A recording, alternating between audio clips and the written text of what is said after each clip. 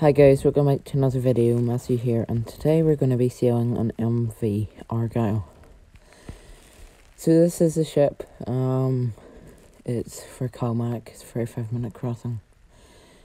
And now we're about to board the ship, here we are just driving on board. And now there's the last car going on, and we will soon be ready to go. Takes approximately 10 seconds for the ramp to go up. And there we are, just leaving the dock now. And now we're just um, moving out from the dock on the Isle of Bute in Rothesay.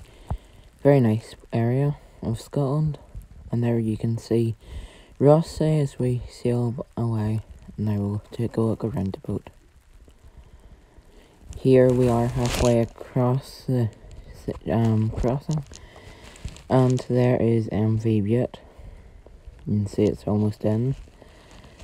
As I said, it's 45 minute crossing, so it actually looks quite close in whenever it's actually like 10 minutes. And there you can see the weight wash behind us um, as we are halfway. And now we're in the port in Wemyss Bay. There you can see the ramp going down.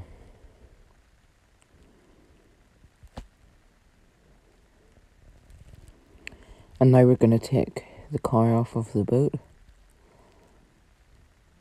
And it's quite a nice place.